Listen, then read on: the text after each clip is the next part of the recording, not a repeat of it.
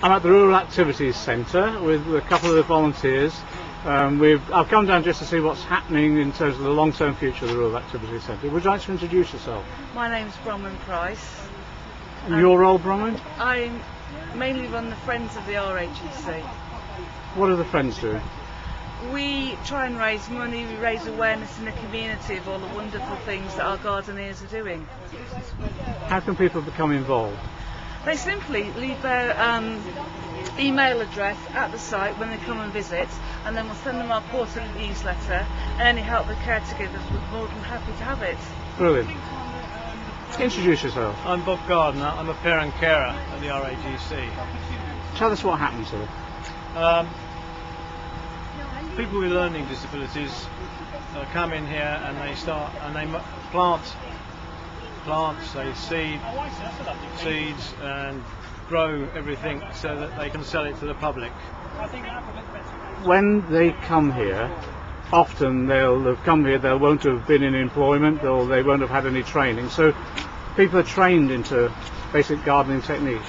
Yes, they are. They, they're taught from the very basics of gardening, from the pricking out of plants to sales if they can manage it. And they're very, very happy and they learn skills. They've got a craft centre. Um, they, they take uh, NVQs in uh, garden management and uh, they're doing very well. How's it organised?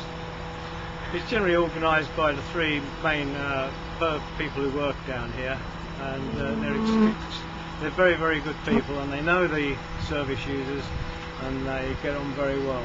What support do you want from the local people? We'd like the local people to be aware of this uh, centre and to come down, buy plants, uh, sign up to the parent uh, carers group, and try and help us out as much as they can. When is it open? It's open five days a week from 9 until 4 pm. What, sort- what sort of things can people buy here?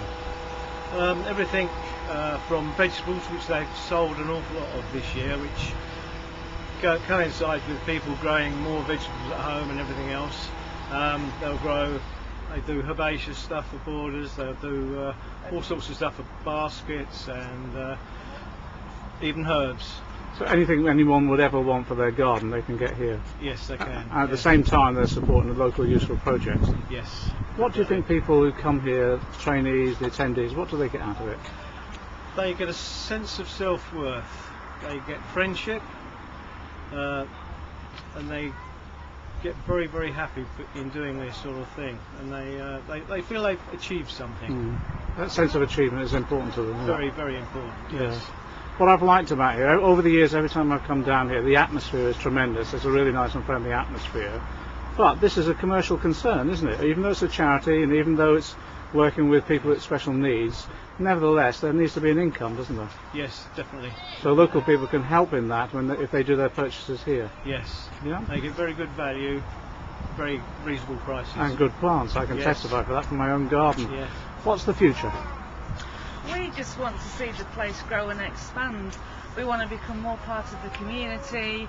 We want to sell more and more unusual things so we can compete with other garden centres. But we think we compete in other ways. We can we compete on the friendliness and, and the way that we all interact with each other and with our customers.